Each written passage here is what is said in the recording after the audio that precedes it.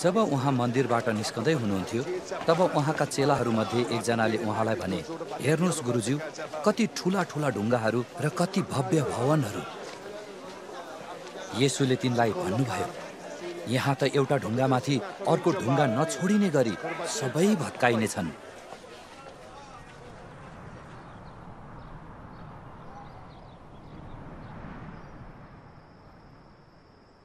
अनि उहाँ मन्दिरको सामुन्ने जैतुन डाँडामा बस्नुहुँदा पत्रुस याकुब युहन्ना र अन्द्रियासले उहाँलाई गुप्तमा सोधे हामीलाई भन्नुहोस् यी घटनाहरू कहिले हुनेछन्?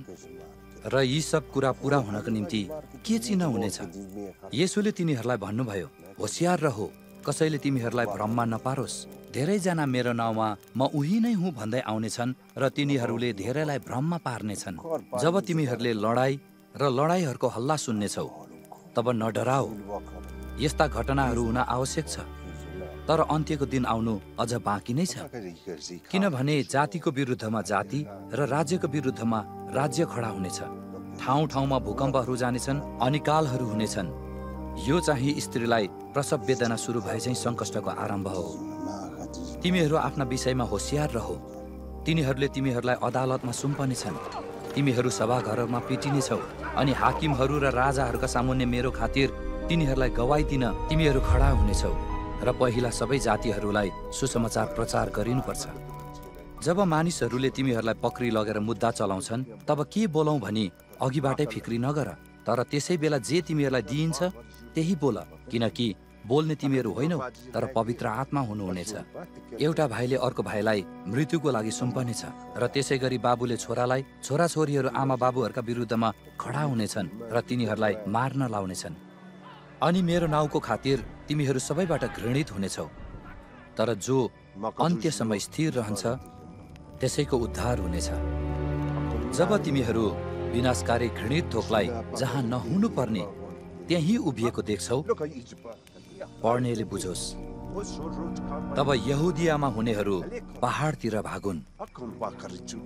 घरको कौसीमा हुने तल नओर्लोस्। न त आफ्नो घरबाट केही निकाल्नलाई भित्र पसोस्।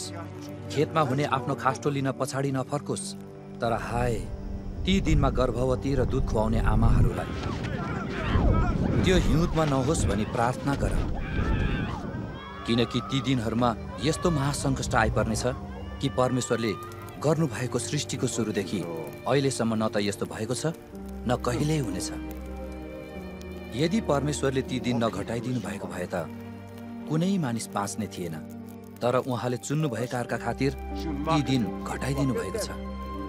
त्यो बेला कसैले तिमीहरूलाई हेर ख्रिस्ट यहाँ छन् वा त्यहाँ छन् भन्यो भने तिमीहरू विश्वास नगर। किनभने झुटा ख्रिस्टहरू र झुटा अगमवक्ताहरू खडा हुनेछन् अनि सम्भव भए चुनिएकाहरूलाई भ्रममा पार्न तिनीहरूले चिन्हहरू र आश्चर्यका कामहरू गर्नेछन्। तर तिमीहरू चाहिँ होसियार रहो।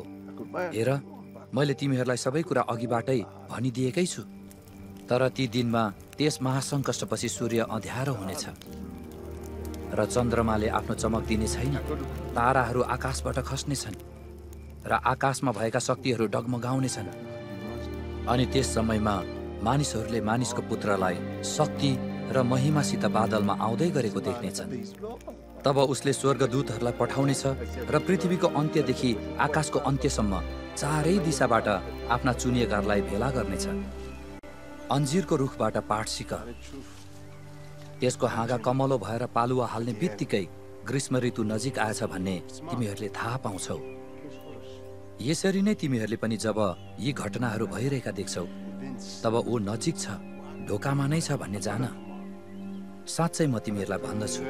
यी सबै कुरा भइ नसकुन्जेल यो पुस्ता बिति जाने छैन। स्वर्ग र पृथ्वी बिति जानेछ तर मेरा वचन कहिल्यै बित्ने छैनन्। तर त्यस दिन र त्यस घडीको विषयमा पिताले बाहेक अरू कसैले जान्दैन। न त स्वर्गमा हुने स्वर्गदूतहरूले न पुत्रले। होसियार रहो जागा बसेर प्रार्थना गर। किनकि त्यो बेला कहिले आउने हो सो तिमीहरू जान्दैनौ।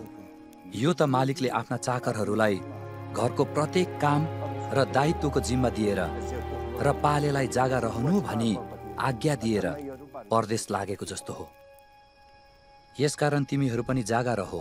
किनकि घरको मालिक बेलुकी कि आधा रातमा कि भाले बास्ता कि बिहान कहिले आउने हो सो तिमीहरू जान्दैनौ।